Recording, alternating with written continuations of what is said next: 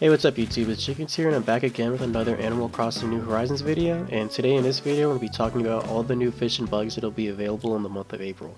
So this list is only for the fish and bugs that are available in the northern hemisphere, I can make a video on the southern hemisphere, so just leave a comment if you'd be interested in that. So first we're going to talk about all the new fish you can get, so there's going to be 10 new fish available in April, so there's going to be two of those going to be found in the pond, the first one is the killifish, it has a shadow size 1, and can be found all day. And the second is the crawfish. It is a shadow size 2 and is also found all day.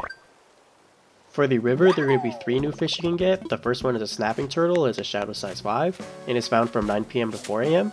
The second one is a neon tetra, shadow size 1, found from 9am to 4pm. And the third is a guppy, also shadow size 1, and also found from 9am to 4pm.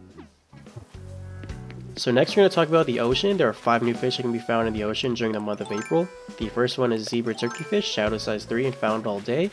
The second one is a butterfly fish, shadow size 2 and also found all day. The third one is a seahorse, shadow size 1, found all day. Fourth is a clownfish, shadow size 1, found all day. And the last one is a surgeonfish, shadow size 2, found all day. Alright, so next we're going to talk about all the new bugs that can be found during the month of April. There are going to be 10 new bugs that are now available. The first five are all going to be flying around your island. They are the Darner Dragonfly, found from 8am to 5pm. The Agrius Butterfly, found from 8am to 5pm. The Common Blue Bottle, found from 8am to 5pm. The Madagascan Sunset Moth, found from 8am to 4pm. And the Rajah Brooke's Birdwing, found from 8am to 5pm.